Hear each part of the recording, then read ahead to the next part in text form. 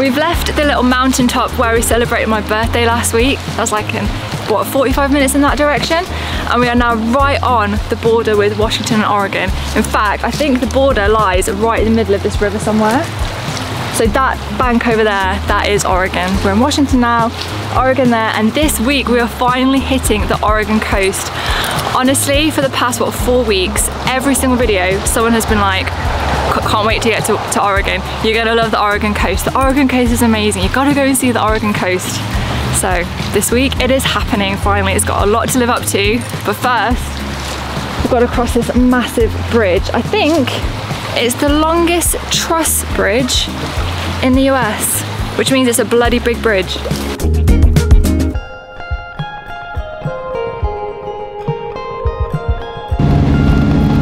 What's really cool about this bridge is that all of a sudden it just goes boom, real big steep bit. It's just to let like, obviously the container ships or the tankers through. Yeah, it's like a little roller coaster. It's really steep. So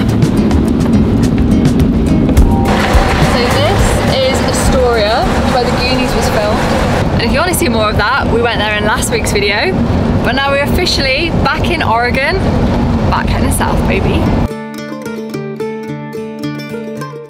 One final Goonies location. It is the classic Haystack Rock, one of the most iconic views on the whole Oregon coastline. And you know what? Even in and of itself, it is what an amazing It's view. beautiful here. Absolutely breathtaking. This is like one of the most iconic scenes in the Goonies. So where they line up with the doubloon so that it helps them work out where the treasure for One-Eyed Willie is.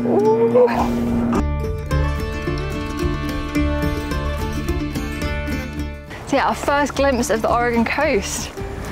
Looks absolutely incredible. Apparently on this beach there's a waterfall. That's what we're heading to, but we have no idea if it's that way or that way. Yeah. So we're gonna take a guess, go this way first.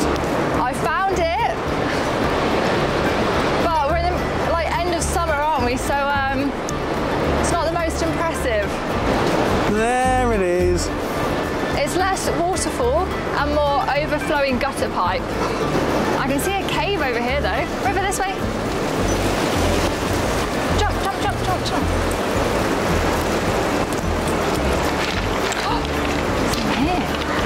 Isn't this literally like a smuggler's cave? Surely it'll be a crime if it wasn't used for smuggling. Okay, we're gonna go in just to see how far it goes. It's all blocked off at the back, but That's cool, isn't it? Everybody else has come to look at it as well. Everyone gets here and they're like, is that it? Do you know what this beach is actually called? This is called Hug Beach. Hug Point Beach. Hug Point Beach. But I think it should be called Smuggler's Beach because that cave was really cool. This is one of the reasons why we have Scout because they got on like this from the first minute. They played and played and played five days straight. Yeah. They were River's, amazing. River's not like that with every dog. No, no, River's very, very choosy about who she plays with. You're the lucky one, Scout. Hey, buddy. The Highway 101 takes you south straight down the Oregon coast. It's a fabled road with an almost infinite amount of secret coves, windswept beaches, and hidden gems that you could easily spend a lifetime exploring. Yet another incredible road. One minute we're driving at the top of these cliffs, which just crash down into the sea with all these views of all the rock stacks and the mountains. And now the road is twisted round and we're in this lush green, huge forested valley. There's a lot of farms down here and it kind of reminds us of home a little bit, doesn't it? it? does, yeah, yeah. It's definitely got like English countryside vibes around here. I want to know if any other couples do this when you're driving. We're driving through this cute little town and all we're saying to each other is just re reading signs. Like, oh, Oregon State Park. Oh, the grill. Shearwater. Romance package. Romance package at Shearwater Inn. Does anybody else do that where we're just reading the signs to each other as we drive past them? Biodiesel. Space age. That's quite cool. Petrol station. So the north of the Oregon coast is really, really busy. So we've come a couple of hours south. Incredible drive the whole way down, but we're getting really, really hungry now. So we're gonna try and find somewhere to eat. Obviously we're on the coast, so seafood is a big deal here. So yeah, hopefully people are still serving because it's a bit later than I thought actually. It's like three o'clock. So yeah, let's see what we can find. I can see wh- I can see whales. I think. Probably can't see on the camera, I think they're a bit far away. Yeah, it is. Oh my god! I just saw his tail flip up. Really? Yeah, yeah, yeah. Because you always get the good whale stuff. I know. Does anyone remember when we went whale watching in Nova Scotia? I went in the morning and Ben went in the afternoon because it was a bit too hot to leave the dogs on their own, so we split it. When I went in the morning, it was f- so foggy, couldn't see anything. I did see whales, um, they were just chilling in the water and it was awesome. But Ben went out and it was like a different day. Clear blue skies, the whales were breaching, jumping around, splashing. Looked amazing. So we're at Gracie's Sea Hag. I'm guessing this is Gracie and the Sea Hag. I've heard great things about Gracie's clam chowder. That sounds a bit weird. Sorry, Gracie. Shall we go and see? Sea famous clam chowder, voted number one on the Oregon coast and written up in the New York Times cookbook. I'm really tempted by the crab mac and cheese. I don't know what to have. Alright, this is the uh, Gracie's famous clam chowder.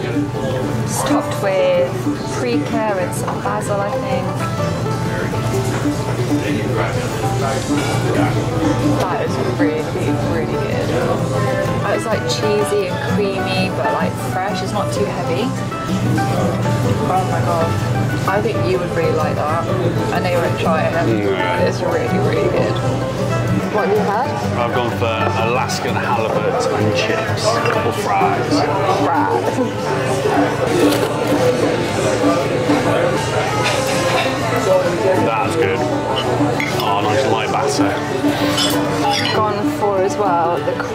mac and cheese.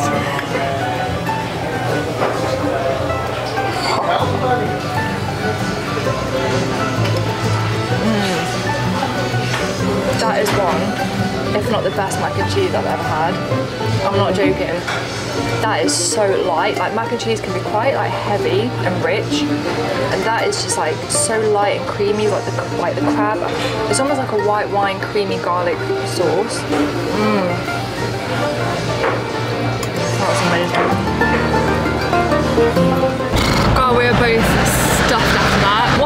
That takes a little bit of getting used to still in the States is that they bring the bill to you kind of straight away. So you don't have to go and ask for the bill. Like back in Europe and back home, it could be an hour after you've eaten before you go and get the bill. But here, like she bought it before we'd even finished our main courses. She, she did say there was no hurry. she's like, it's just there for when you're ready, but they do bring the bill. So you kind of, you eat, you pay, you go. You don't hang around for hours like back home. And it's still like, yeah, it still takes some getting used to.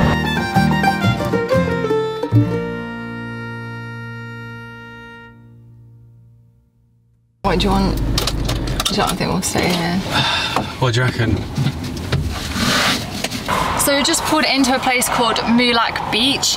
This was like the van life hotspot on the 101 in Oregon where you could stay overnight. But there's been recent notices posted telling you to move. We thought we'd just come and check it out and just see what the situation was. There is not one other camper here and there's these like little um, hammered in Oh, right. little leaflet signs um, saying all personal property has to be removed um, within a th 1,500 feet of those signs or it will be like towed away. And I think what had happened is people were like setting up here and leaving trailers and campers here.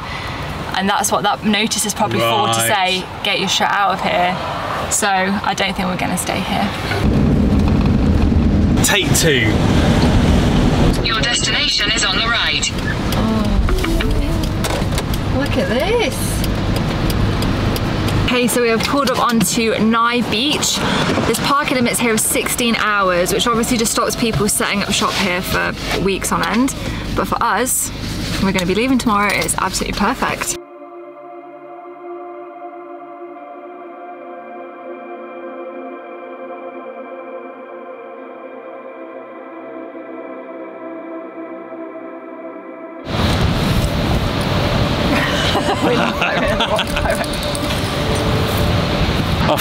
Sunset in Oregon, baby. Yes, indeed. I was thinking about that then. I wasn't sure. I don't know if you can see just behind Chesterhead. You probably can't see on camera, but it looks like a pirate ship from here, Oh yeah. which is quite apt because One-Eyed Willie from Goonies is just up there. So it could be a pirate ship or it could be a ghost ship, Like the Flying Dutchman. like the Flying Dutchman. I can never remember the story of the Flying Dutchman. Do you not know the story of the Flying No, Dutchman? No, I do, but I always get it mixed up with other other like ships. Oh, okay. So the story of the Flying Dutchman. So the Flying Dutchman was a Dutch captain back in the 1700s. He was captain of this huge ship. Him and his crew sailed it around the Cape of Good Hope when they encountered horrific winds, massive waves, and he said, "I'm going to get through this storm and back to Amsterdam, even if I have to sail the seas for eternity." Now, some believe that the devil or Davy Jones himself heard this oath and bound him to it, so that when he died, his soul was bound to a ship destined never to reach land and to sail the seven seas until the end of time. You may, if you're unlucky, see the Flying Dutchman. I reckon it might have just been a fisherman trawler, but let's hope it's not not the Flying So- Dutchman then.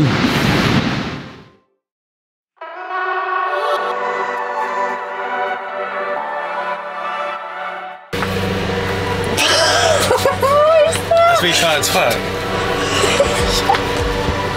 I'm going to put a warning on this video, like Tina from Bob's Burgers. These Tina's from Bob's Burgers.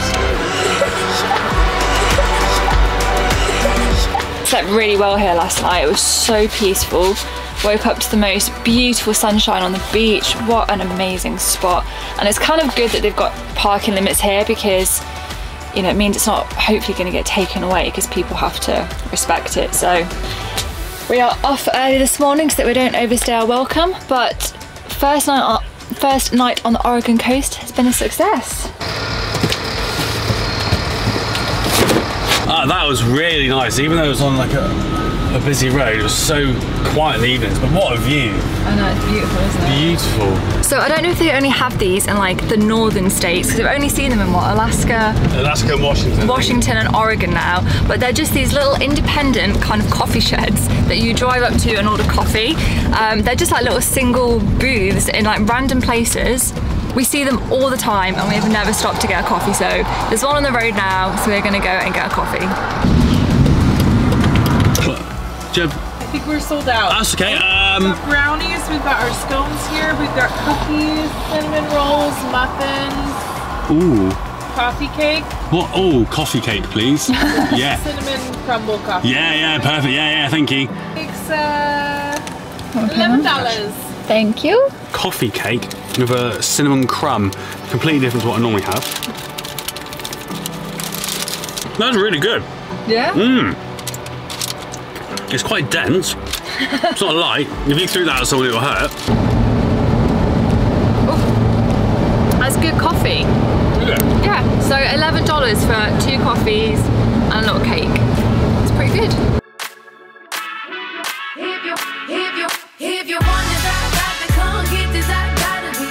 Yeah. Honestly, this road just keeps getting better and better. Every corner is jaw dropping. The road twists and turns around jagged cliffs, and running alongside you is a seemingly never ending beach. This is the stuff road trip dreams are made of. This hand is broken, it don't get no better than this. Oh my god, look where we are. We're gonna go and find some hobbits. Hobbits, hobbits, hobbits. There is no way we can come here and not do the Hobbit Trail down to Hobbit Beach. Look at this little Hobbit tunnel through the sand. Oh wow, look at all the shops on here. Oh yeah. Oh, yeah. oh god, yeah. Oh yeah, and down here, look. Oh, oh great, we're some- we're getting some sort of murder scene. A crab horror film. yeah. Crabastrophe. of crabastrophe. We're coming to Hobbit Beach. Oh wow. Babe, look at this. Whoa. This beach is absolutely stunning. Golden white sands, green forests behind, mountain there, and beautiful, beautiful blue sea. This is out of like some sort of wow, like desert island film. it is absolutely amazing. So, so beautiful.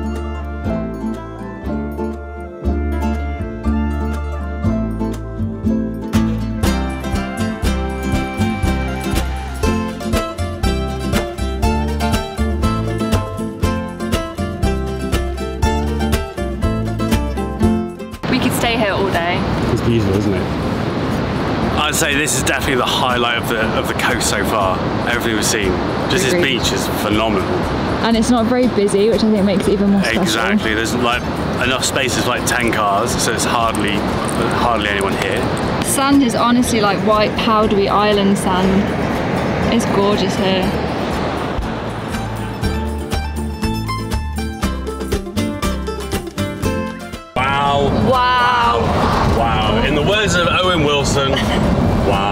Are getting our first glimpse of the Oregon sand dunes and oh my god. Oh.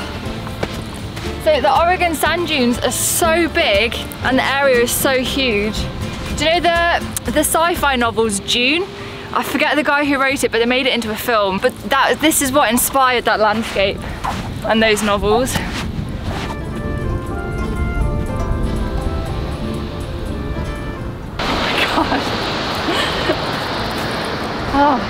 Bit of a leg leg burner, isn't it? It is. I don't know if you can hear it, the foghorn is going off. Yeah. We haven't heard a foghorn since we were in Nova Scotia. In fact, one of our first park ups on this entire trip after we shipped it from the UK was next to a lighthouse with the loudest foghorn and it was going all night. It's something we had never experienced before, was it? Never experienced and I love the sound of them. Yeah. They sound so like old and mysterious. I think our plan tonight, talking of foghorns, is to go and park up near the lighthouse here with views out over the bay, views out over the sand dunes. Yeah. What I think place. we're gonna park here, aren't we? What a place.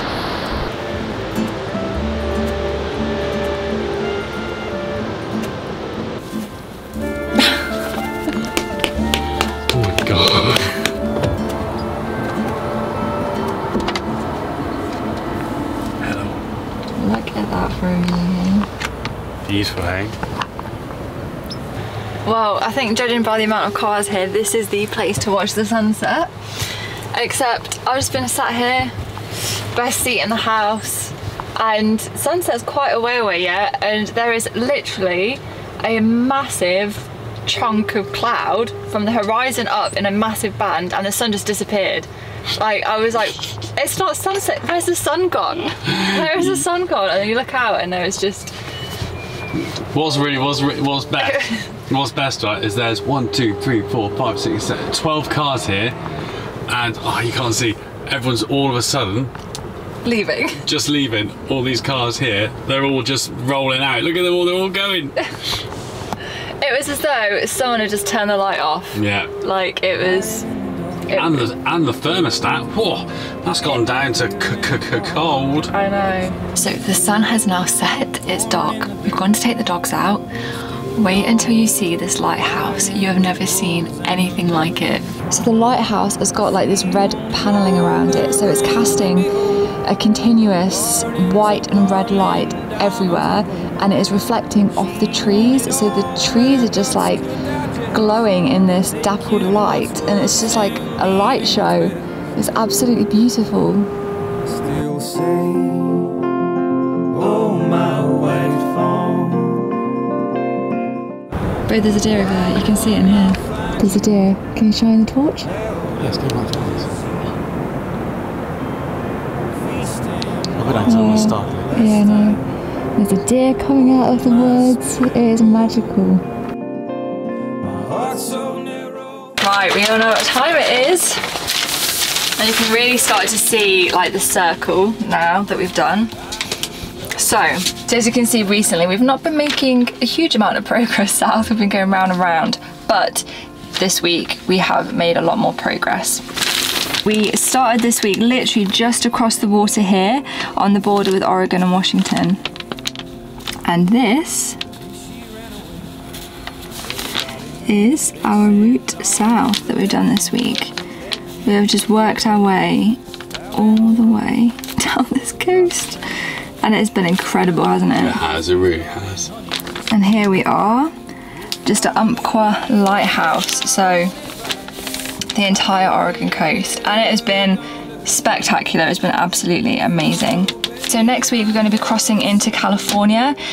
This is a major milestone for us because it is our last US state. After that, we're into Mexico and officially the Central American leg of our journey begins. And it's goodbye to the US and Canada. We've got no tea and no coffee. Send thoughts and prayers because we literally have no caffeine.